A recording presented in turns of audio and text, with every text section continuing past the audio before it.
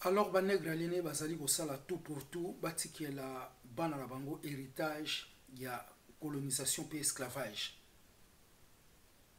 bazali na difficulté ya kolukela bana na bango dépendance spirituelle et dépendance politique et dépendance économique bazali na difficulté ya koyebisa bana na bango clairement ke tozali edépendant te biso baafricain Negre aliene azali na difficulté ya koyebisa bana na ye ke nous sommes des maîtres ya civilisation bancetre na biso bapharaon egypte antique baza bamaître ya civilisation baza bakolo mathématique bazali bakolo science première civilisation c'est la circoncision banegre aline baza na difficulté ya koyebisa verité epai ya bana na bango que tozala jamais ba chrétiens tozala jamais ba musulmans voilà la raison laquelle que bacetre na biso bazalaki kodeveloppe na technologie bazalaki kodeveloppe même monde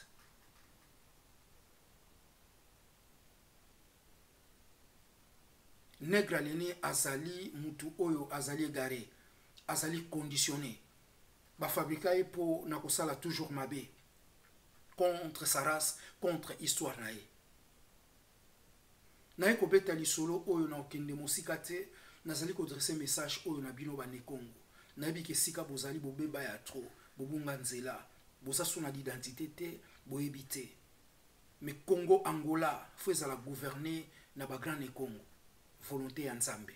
congo zaire fo ezala gouverne na bagrand nekongo volonté ya nzambe congo brazzaville fo ezala gouverne na bagrand nekongo congo gabon ezali terre ancestrale nzambe apesa na basetre na biso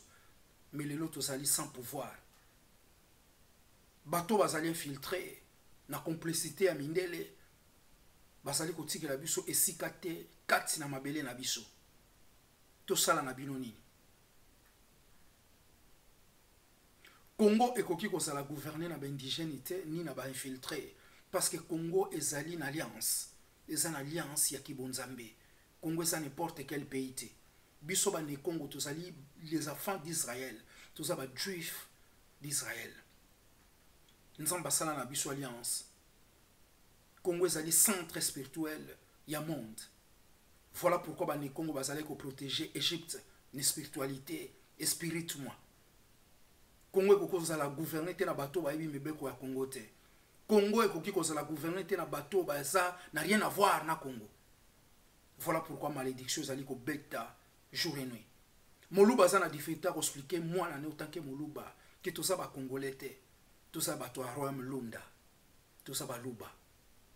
Mungala aza na difficulté à expliquer moi na ye autant que Mungala que tozalaka ba jamais ba Congolais. Tozali Bangala, Equateur. Moswahili aza na difficulté ya koexplike mwana na ye ke toza jamais ba congolais toza ba swahili kuna na goma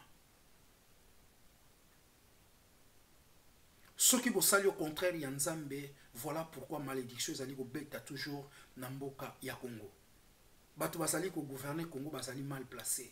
congo jamais kozwa pe congo jamais kobonga moluba akozala fier na mboka na ye ya lunda ya royaume ya lunda kuna na kasai agouverne yango mpe adevelope yango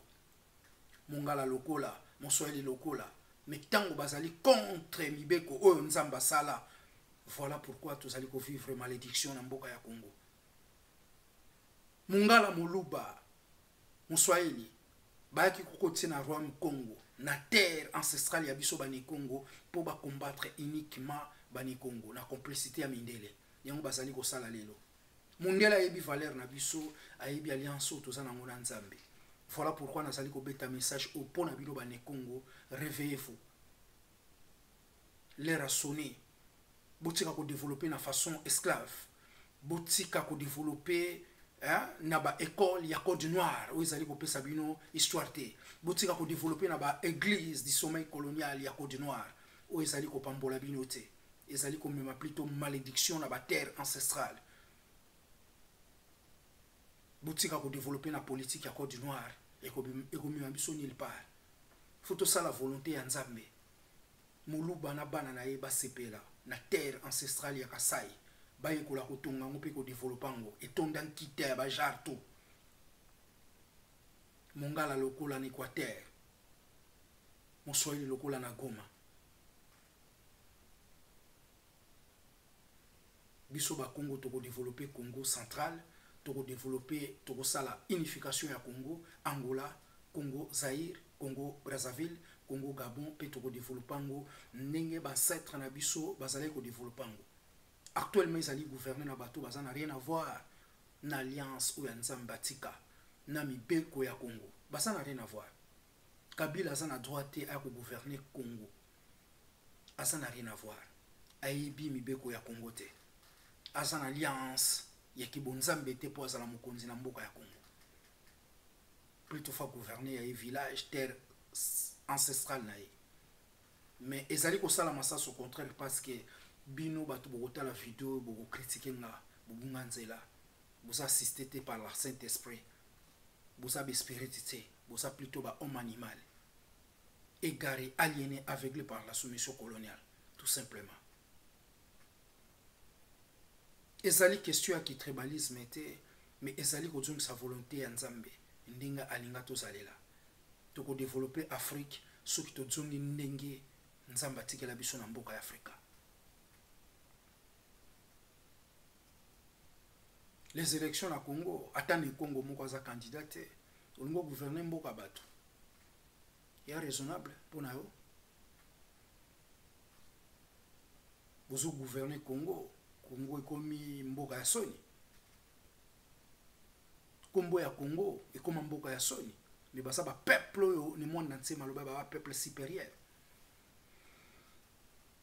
bato ya mayele ozala mongala ozala molubu ozala moswahili bayebi verité wana olingo gouverne farao ongo gouverne descendance ya nimerode yo